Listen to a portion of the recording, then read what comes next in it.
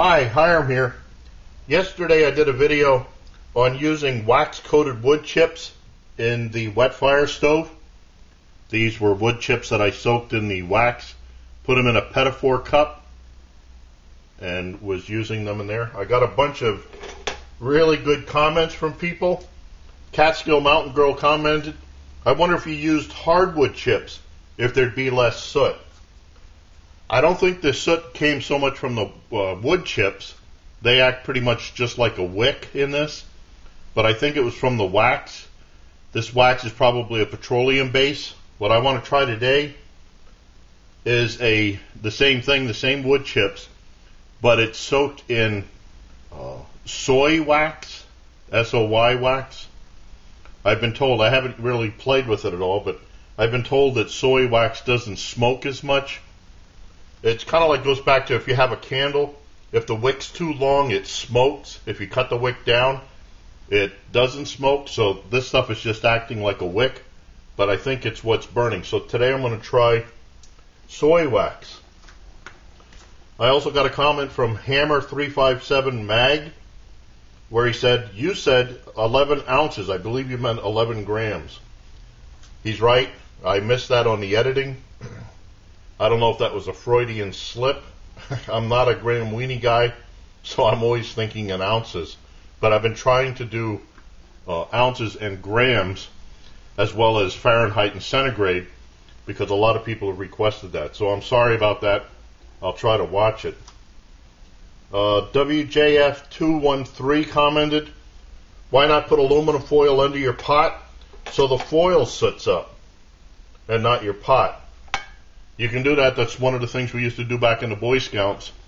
But I did a test some time back, and that does affect how fast it'll come to a boil. Plus, then you got this big sooty ball of aluminum foil that you got to worry about. But that's one idea.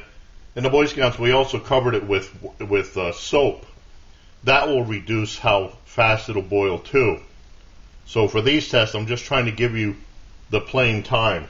If I was out doing this out in the field, I'd probably use soap. Uh, WJF213 also asked, are those tea light candle aluminum cups about the same size as the mini cake papers?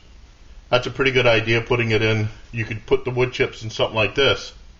I dug this out of the box with the soy wax. This was a, an old project I was going to try where it's a uh, buddy candle, but a very small version. Never got around to finishing that, but I guess you could fill this up with wood chips, just like this. Um, the petit four cups taper, so it's a little bit smaller than the the uh, tea light candle, so it could be put in there. But then again, if you're using it for a fire starter, you'd have a piece of aluminum foil that you'd have to dig out of the fire. Uh, one last comment, real quick here. MatoNupai said uh, what Hiram should do is remove the pot when the water boils to cut down on the soot. this you couldn't see it on the camera, but this was sooting up right from the get-go, just not as much as the uh, with the WetFire or the the uh, Weber lighter cubes, but it was sooting right from the, the beginning. Now that would work though, taking it off the fire if that's all you wanted to do was just get hot water. But this wouldn't be disinfected water if you took it off right away. I like to let it go for another minute, and then I have disinfected water usually. But you can see how shiny the bottom is from my, boy, it's almost like a mirror, from my scrubbing. But uh, that is another thing you could do, take it off, but it was sitting up even before the end. So what I want to do today is do a test on this using soy wax, see how much this smokes, after I made this, I got to thinking, I packed this with uh, wood chips and then poured the soy over top. Um, I might be able to get away with using less wood chips and more wax if this doesn't soot up so bad. But uh, let's just see in this test how bad it soots. So let me get my water prepped and I'll be right back for a quick test. Okay, this is take two. I tried lighting this with matches, didn't do so hot. I guess I should have left more of the wood chips sticking out. I'm going to try with my propane lighter. my butane lighter rather.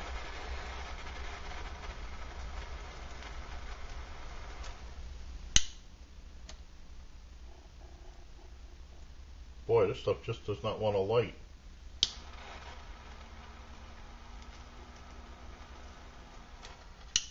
I probably should have left some chips out, sticking out more.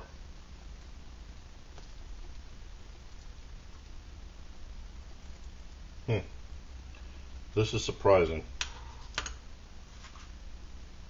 Let's let this, I'll cut here, I'll let this get a little bit further along and then I'll start up the test. Boy, this stuff is hard to light.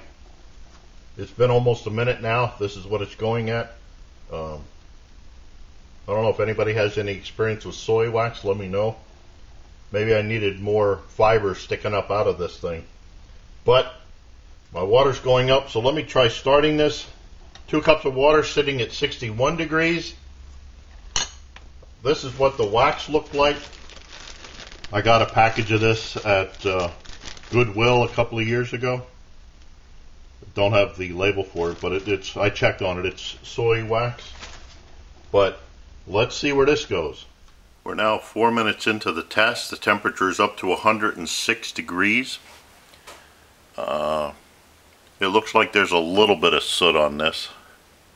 I can't really tell in this light. I wish the camera would focus in a little bit better, but uh, for some reason it just doesn't like this configuration. So let's see where it goes from here. Okay, the flame's just about ready to go out. The highest that this got was 189 degrees. Uh, not enough flame there to worry about it. Well, it looks like this was a bust. 189 for the highest. And I guess I can't believe that stuff about soy not sooting. It doesn't look like it's as bad, but it did indeed soot up. All that shiny is gone now. More scrubbing coming. So, I guess soy wax just isn't a good thing for this. It was had a heck of a time getting it to light, and what was that, 14 minutes, something? I'll have to look back. Uh, the temperature only got up to 189 degrees, so not a good idea. Hmm. Okay, well, I thank those that made the comments on the other candles, on the other little fire starters. I thank you for watching. I look forward to your input, questions, remarks, helpful suggestions, and as always, watch for my buddy Max. Bye now.